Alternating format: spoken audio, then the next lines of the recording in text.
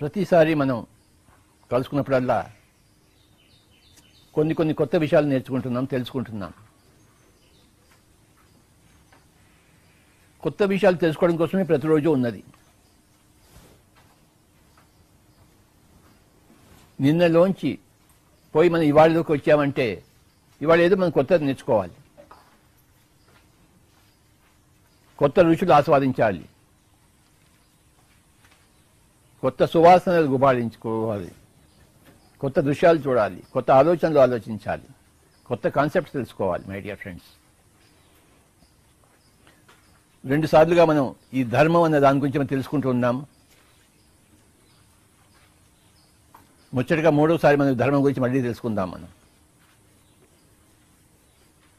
ధర్మం వన్ ధర్మం టూ ధర్మం త్రీగా మనం తెలుసుకుంటున్నాం వీటిని.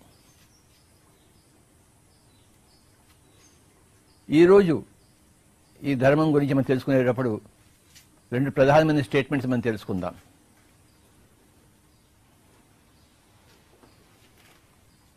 ఒకటేమో షడ్దర్శనాల్లో ఒకటైన వైశేషికంలోంచి తీసుకున్నది.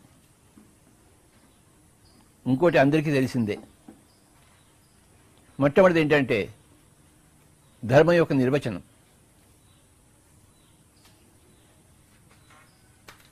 వైశేషికంలో ఏం చెప్తుందంటే ధర్మం అంటే వైశేషికం అనేది షడ్దర్శనాల్లో ఒకటి. సాంఖ్యము యోగము న్యాయము. ఇలాగ షడ్దర్శనాలు ఉన్నాయి. వేదాంతము. అందులో వైశేషికం ఒకటి.